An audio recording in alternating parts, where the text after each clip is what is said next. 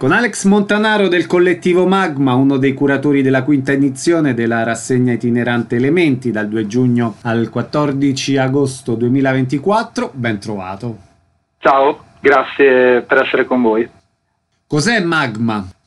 Magma è una sottoazione che attualmente si colloca nel terzo settore e opera principalmente sui territori dell'arte contemporanea, performativa, musicale e visiva. Eh, attiva dal 2014, siamo diverse persone che si occupano della ricerca, della produzione e dell'attivazione di formati che operano principalmente sul territorio romagnolo, sia all'interno di enti museali, ma soprattutto all'interno anche di situazioni simboliche, naturalistiche che sono patrimonio del nostro territorio, noi tendiamo a crearle attraverso una nuova abitabilità che è quella che tendiamo a occupare attraverso i prodotti e i linguaggi che pensiamo possano essere dei momenti effimeri adatti per far conoscere al pubblico i nuovi linguaggi dell'arte contemporanea. All'interno di questo progetto come nasce la rassegna Elementi? Elementi nasce durante la fase pandemica dall'incontro con uh, un artista curatore, mio caro amico, che si chiama Enrico Malandesta, all'epoca all'interno di un'associazione di nome Mu. In quella fase in cui il mondo dell'arte, soprattutto performativo e musicale, non aveva più una casa perché i teatri e le aree dedicate al pubblico spettacolo non erano agibili, abbiamo pensato di attivare Elementi come possibilità principale per poter riattivare un settore, ma anche come forma di nuova possibilità sul territorio per poter occupare quei luoghi dalla forte caratteristica naturalistica che sono un patrimonio sicuramente inestimabile dei nostri territori, inoculando all'interno linguaggi contemporanei che potevano essere non collegati a un genere prestabilito, ma un ibrido tra musica e performance. Come è strutturata questa edizione?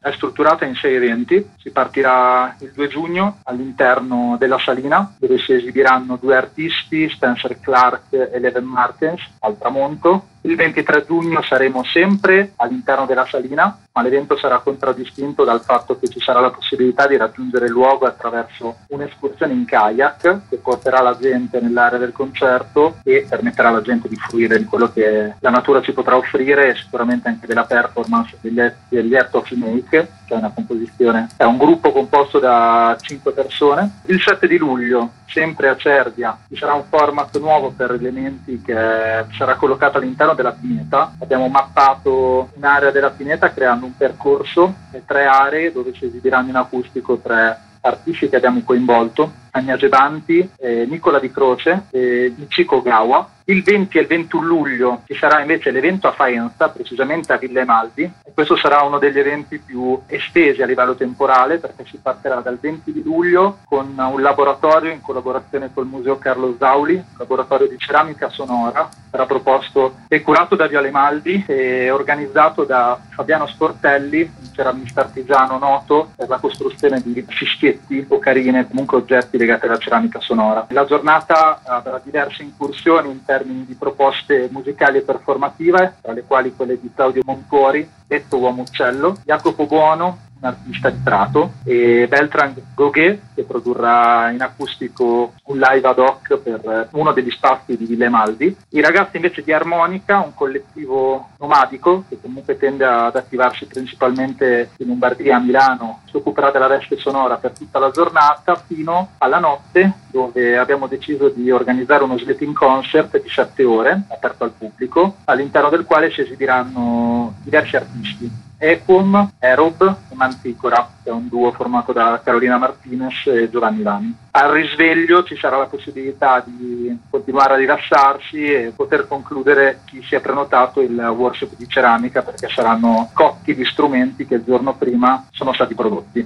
Il penultimo evento è all'interno invece di uno dei luoghi iconici della rassegna, sarà il 4 agosto all'interno dell'AIA della Salina di Cervia, luogo diventato iconografico soprattutto per la scenografia di mucchi di sale che contraddistingue sicuramente in termini estetici la Salina e lì si esibirà Cucina Povera, il progetto solista della musicista lussemburghese finlandese Maria Rossi. Lì sarà un concerto al tramonto, si spera di avere ancora la possibilità di poter avere i mucchi di sale, cosa che lo scorso anno non ci sono stati a causa della tremenda alluvione. L'ultimo evento invece sarà a Lugo, all'interno dell'aeroporto Francesco Baracca, nel quale si esibiranno Parus, che è un duo creato da Anton Aniskaska, che è una produttrice elettroacustica, in collaborazione con Anna Silivostic, caratterizzato live dalla rivocazione della lingua bielorussa, una lingua che sta scomparendo. Al tramonto ci sarà invece un intervento installativo performativo. John Chandler, artista attualmente basato a Berlino, sarà un'installazione legata ai nuovi formati d'ascolto. Verranno fatti fluttuare all'interno di un hangar dei microsintetizzatori autoprodotti dall'artista. L'installazione si chiamerà No Such Array. Tutta la giornata sarà accompagnata da una veste sonora, contraddistinta da qualche intervento live, ma prevalentemente di t-shirt e sessioni d'ascolto, di undicesima casa, un collettivo di Bologna.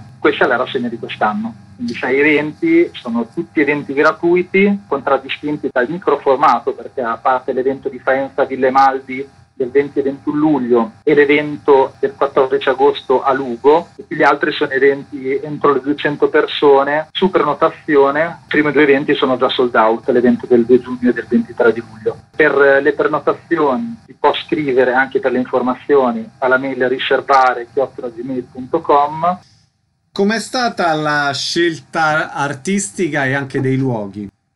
Noi partiamo sempre dalla scelta dei luoghi, nel senso che gli artisti sono una conseguenza di uno scouting eh, territoriale in termini principalmente di luoghi. La scelta dei luoghi parte principalmente da un immaginario, cioè quello di poter eh, comunque portare persone all'interno di luoghi inusuali. La ricerca all'interno del territorio romagnolo offre sempre grandi sorprese sia Serbia, è uno dei paesi più esplorati, che la Bassa Romagna ha sempre offerto tanti luoghi anche a noi del territorio nuovi. La parte invece curatoriale legata all'aspetto artistico è una condivisione che arriva da un dialogo di diverse persone che sono all'interno dell'associazione con uh, l'obiettivo di non volersi legare a un genere per stabilito, nel senso che le incursioni e le produzioni che sono state collocate all'interno della rassegna possono toccare un genere folk come un genere elettronico, un genere legato legata anche alla musica concreta, molti possono essere anche interventi acustici, sempre con l'obiettivo di rispettare principalmente l'ambiente. Essendo la rassegna nata all'interno proprio di questo obiettivo curatoriale, ovvero sfruttare dei luoghi inusuali per creare delle nuove abitabilità, il più delle volte la proposta tende a essere una proposta legata all'ascolto, alla riflessione e all'abbassamento delle energie. E il pubblico di conseguenza è molto trasversale, ci troviamo di fronte a molte richieste di famiglie come a molte richieste di addetti al settore, giovani, adulti, questo siamo dei grandi valori anche della rassegna in termini di inclusività, non avendo un genere e avendo la possibilità di poter sfruttare dei luoghi veramente affascinanti e inusuali, la formula che si crea tra contenuto e contenitore è sempre valore aggiunto e ci permette di non scendere a compromessi per quello che è il prodotto, nel senso che non scegliamo mai o quasi mai in una logica commerciale, c'è una possibilità per noi per arrivare ai grandi numeri, cosa che magari se dovessimo ragionarla in termini di produzioni commerciali saremmo per forza costretti a fare quindi difendiamo il piccolo formato delle rassegne attraverso questo sistema di costruzione che di conseguenza è un piccolo formato ma che ci permette di essere sicuramente autentici e crediamo nell'autenticità. Quinta edizione della rassegna itinerante Elementi dal 2 giugno al 14 agosto 2024. Un saluto. Grazie mille a voi, grazie, spero di incontrarvi in Romagna. A presto, grazie.